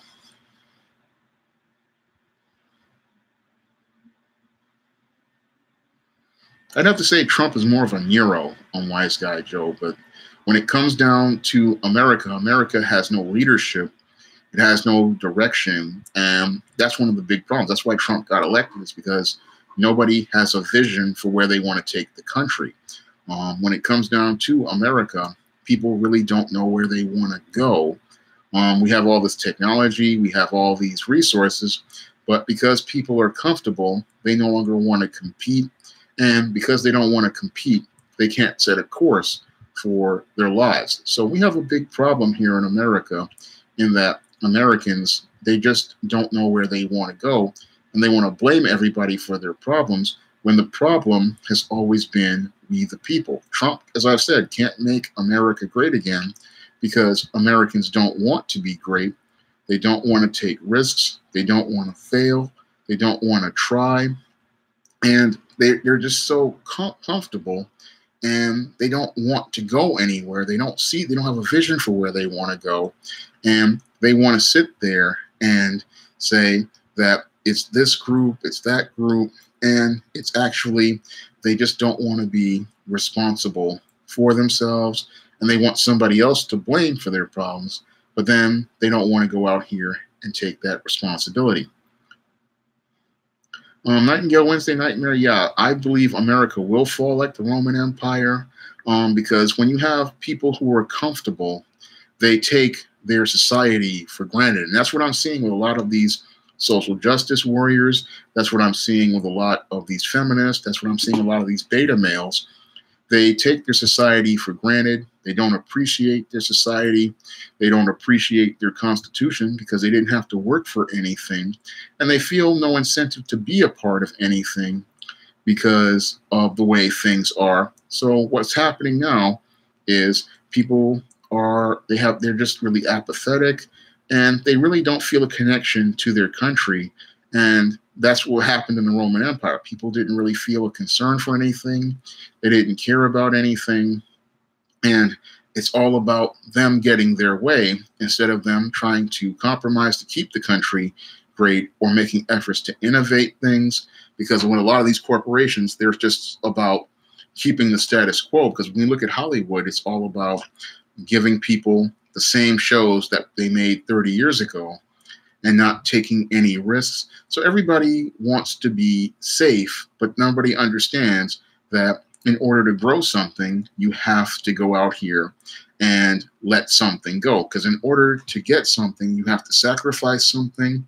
And that's something I learned again when I was um, looking to hire Bill Walko to do the cover for Isis Wrath of the Cyber Goddess. In order for me to get this cover, I had to sacrifice a lot of toys in my toy collection, a lot of old toy catalogs, even a Teenage Mutant Ninja Turtle pie wrapper in order to get the money to pay for this cover. And in order to get something, you have to let something go. And I had to let go of a lot of stuff in order to get this cover and move the SJS Direct imprint forward. And that's something people don't understand out here. They're thinking that they can just get something by just showing up. And that's not how the world works. And, and you're going to deal with a lot of resistance, a lot of people saying no. And this is something that your SJWs don't understand. This is what many people don't get. They're expecting to get things through just showing up and feeling they're entitled to something. And this is a big problem with most Americans is that they want greatness, but then they don't want to go through the pain to be a great person. Because in order to go, go become a great person, you're going to have to deal with a lot of no. You're going to have to deal with a lot of people not liking what you produce. You're going to have to deal with a lot of people hating you. And you're going to have to deal with a lot of people just plain hating you. And you're going to have to persevere in the face of that adversity and when it comes down to people, they don't want to deal whenever they deal with any sort of thing that they have to disagree that people disagreeing with them, they just do like what the Facebook owner is doing, try to silence them, or what they try to do, like with YouTube, is try to take all those types of content down. And when you do that, it shows that you don't have any sort of grip or any sort of resolve because people who have grit and resolve, they go out here and they they can take it. I mean, they can take stuff. Um, thank you, Bloodsport One, for coming to the stream, and I also thank you for buying Dark Succubus. I really appreciate it. I hope you enjoy Dark Succubus because I put a lot of work into that one, and I'm working on the next John Hayes book, which is The Man with Nothing to Lose. I just finished ISIS, the main event, um, this week, and I'm hoping to start back work on Eternal Night, which is going to be a Black Goth vampire story. So I have a lot of projects I'm trying to get ready for 2020, and the 2019 books are up now, and you can pick those up.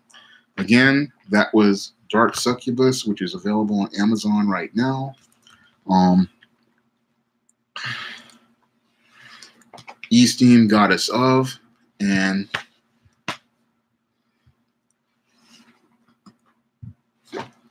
Isis, All That Glitters. All these are now available on Amazon in paperback, and they're available on Kindle Unlimited. And if you have a Kindle Unlimited sub, you can read all three of these books for free. Um, right now, Bloodsport, yeah, I really want to get the Isis graphic novel out, and I just need the donations to do that. So everybody who donates a dollar, that helps because I have almost 11,000 subs. If we all donated a dollar, that would help me get the graphic novel out there got enough money for a couple of pages, but I'm trying to make sure I can get enough for the other for one story, but I want to try to get enough money for the main story before I go talk to Bill Walko again because I want to make sure that he is um, paid in full for the art before I go out here and launch. So I want to make sure that the art is paid for. Then I can try to focus on the coloring and I need to be at least about 9,300 in order to get the art paid for. So I've got a long way to go, but I'm trying to get there. Um, thank you, William, for sharing the stream on the Facebook on your Facebook page. I really appreciate it. Um, that means a lot to me. But when it comes down to, I can't speak on Chicago, John. Right? You have to talk to Mr. Superboy. He lives there, so he can talk more about Chicago's cops than I can. I can talk about New York cops, but uh, Mr. Superboy would be the expert you would talk to about that, which Mr. Superboy would do a stream, but he doesn't do streams. He does videos. Um, but I think he would do very well with streams. And Luciano, will reparations help with education? Yes, they will definitely help because, again, when you pour resources into a community, that increases the tax base, and that also means more money for schools and it also means that those black people in the community will start demanding black teachers if they are smart. They'll sit there and say, look, we've got these resources, but we also need black teachers to teach our kids. And um, one force balance, I did a video about Finn on The Last Jedi uh, a couple of months ago where I talked about Finn being a bumbling, stumbling minstrel. I did that video. Uh, you have to search for it or I'll see if I can search for it.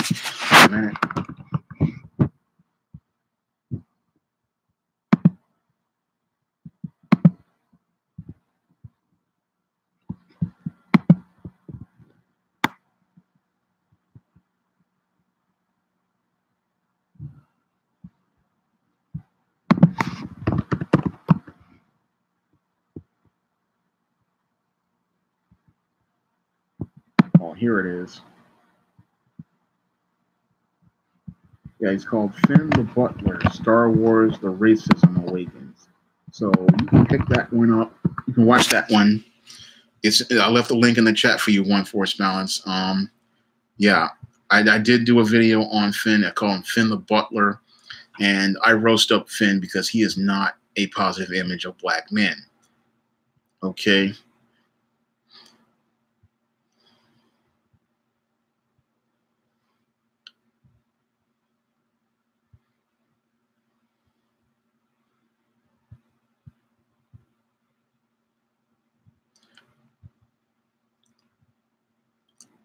Thank you, brother Tennessee, for picking up Dark Succubus.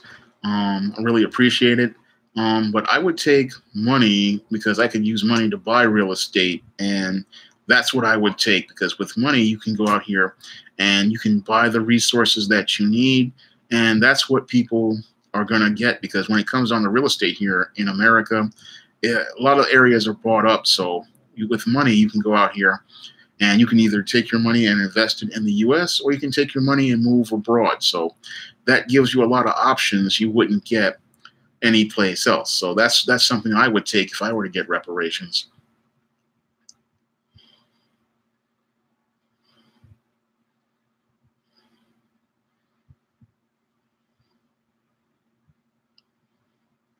Um, Nightingale Wednesday Nightmare. I don't believe 2020 is going to be like George Orwell's 84 because when it came down to the 2016 election, I don't believe it was de decided by YouTube or Google. I believe it was decided because of white women.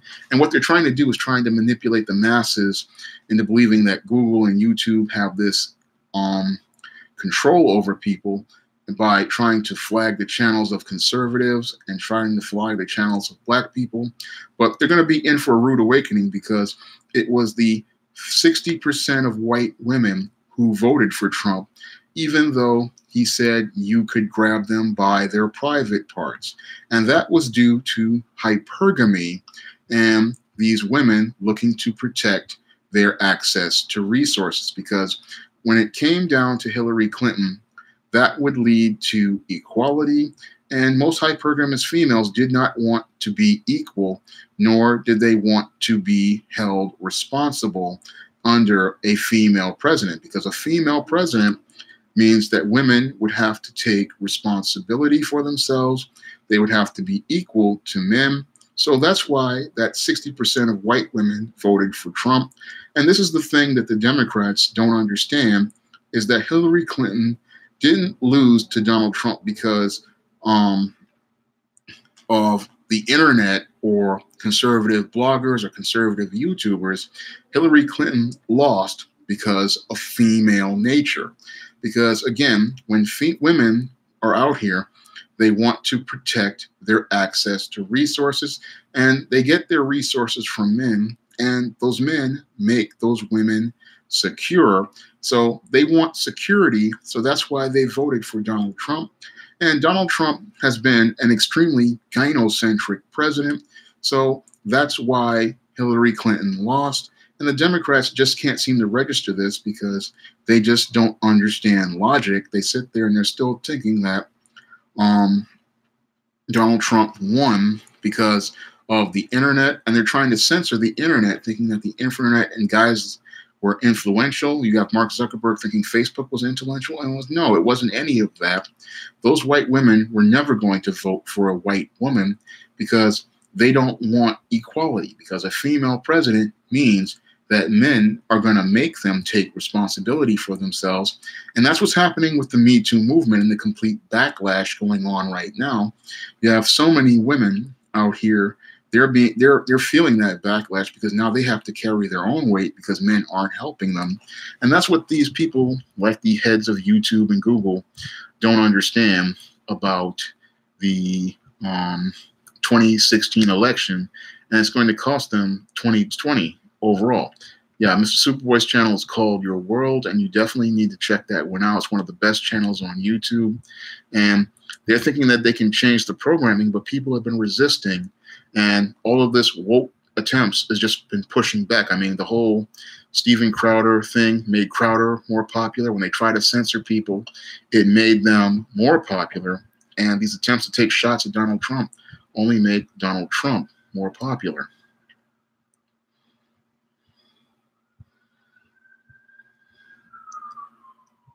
And even John Wright is right. Yeah, and their attempts to try to censor people only led to the revelation of more racist cops on Facebook. And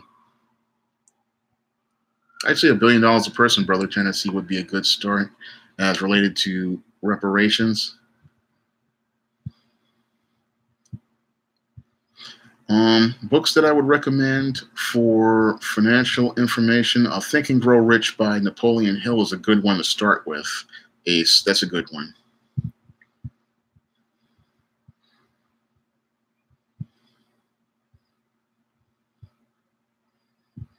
I don't know about that lift every voice. I don't think you can lock up a per, uh, descendant for the crimes that their ancestors did. Um, Bloodsport, what are my opinion on automations? I'm not a fan of automation because I've been in stores with automation, and usually it winds up hurting a business when you have automation. I've been to McDonald's where they have the automated kiosks, and you really don't get the service you need. I had one time where receipt didn't print, and it's not really good. It just takes jobs out of the community, and you also get even poorer quality service. So, in the attempt to save money, it winds up costing a business more money, and it's just cheaper to hire good employees because there's nothing more valuable than a good employee.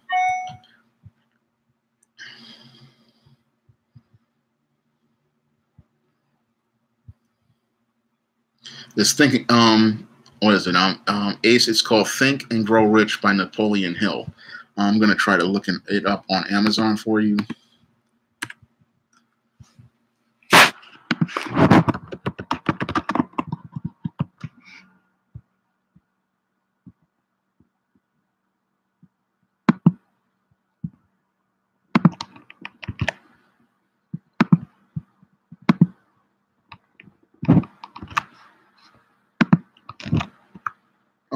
Try to.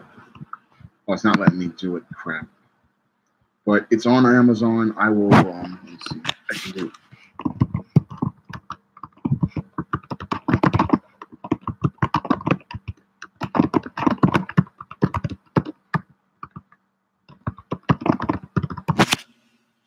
But that's the title of it. Um, why do black women hate men going their own way so much? Because they can't get access to resources from those men and they can't get the attention from those men because once those men walk away, these women don't have anything to bargain with and they don't have anybody to negotiate with. And men who are going their own way, they are, are no longer on the table to be viable partners. So that's why black women hate men who go their own way. And they can't get access to their attention, their resources, and their time. So that's why they hate them because they know they'll never get an opportunity at them. They'll have to deal with Pookie and Ray Ray. So men who are not on the table are men they can't get access to. So that's why you have so many people hating um, the men who go their own way, and that's why they don't want anything to do with them. Um, but that's why they hate them because they don't want them to teach other men because they know the more and more men who walk away from the table, and that's what's happening right now. Men are walking away from the table, so they can't get access to those guys.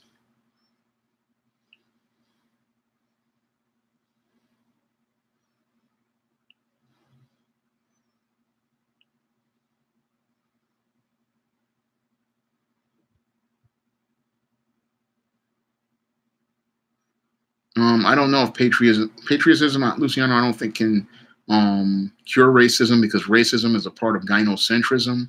And when the big problem with racism is it's a gynocentric construct.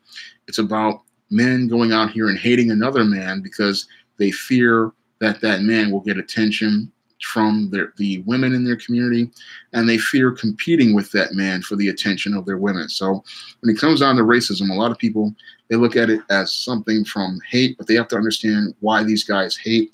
And they hate because they don't want to compete with black men for the attention of the women in the community because those women, they fear if those women get are corrupted, they will start learning a black culture and teach a black culture to their children. And they don't they want in order to keep their seed going on, they need to eliminate those other men by teaching the women to hate that man.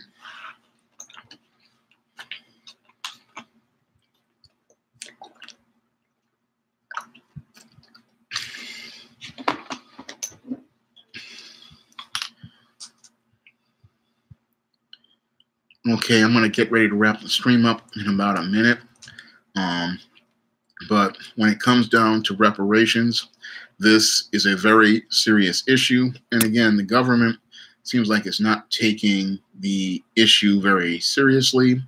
And if they're sitting there and making a joke of it, again, we need to show them how serious it is by not participating in the 2020 election and send a message to many of these politicians that if they want to deal with repara- black people, they're going to have to deal with the issue of reparations.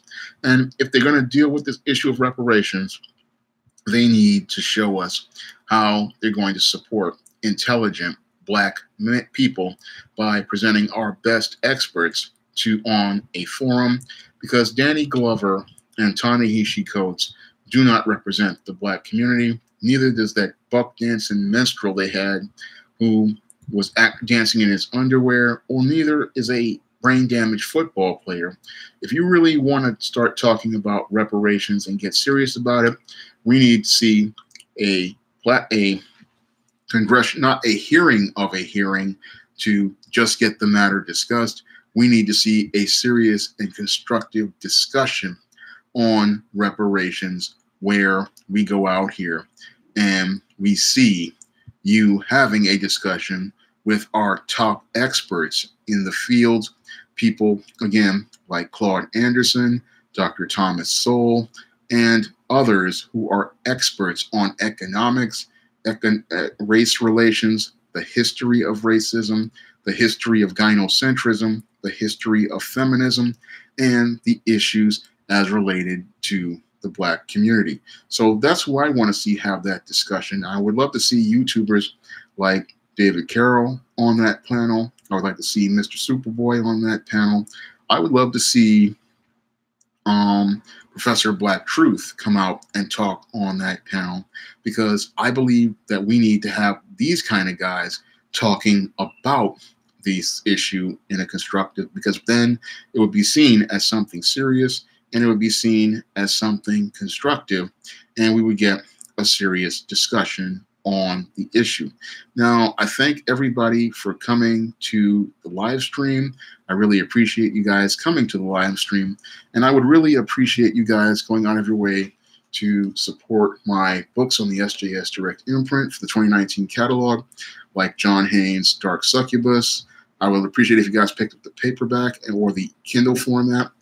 Um, Eve Goddess of, which came out the month after, before John Haynes' Dark Succubus or Isis All That Glitters, or you, if you could pick up um, books like Isis Wrath of the Cyber Goddess, I would really appreciate it if you guys would go out of your way to head over to Amazon and pick up all of those books, or to go out here and donate to the Patreon so I could. Um, Rob IS, the paperbacks for ISIS series books are usually about $8.99 to $7.99. Um, but when it comes down to Dark Succubus, says $70.99 for the paperback. Esteem Goddess of the $7.99, and Isis All That Glitters is $7.99, and the ebooks are $3.99. So if you guys would go out here and pick up the books, I would really appreciate it. It would help me a long way, and I'm hoping to um, Luciano, you can pick up my ebook, White Why 70% of Black Women Are Single to Understand Black Feminism. But I really would appreciate you guys picking up the books. That really helps with my book sales. It also helps get the word out about my books. I really would appreciate it if you guys would tell more people about my books because the more people who pick up SJS Direct books, the more the imprint grows. And then I can go out here and hire more Black artists to do things like graphic novels or do covers or do different types of projects. So again, I really appreciate you guys coming out to the stream. I appreciate you guys supporting my work. And I thank you for taking time to spend with me to discuss reparations. And I hope to be back this Wednesday with another live stream. And I hope you'll be there for that live stream on Wednesday. Thank you, Rudy, for coming in too. Glad to see you here.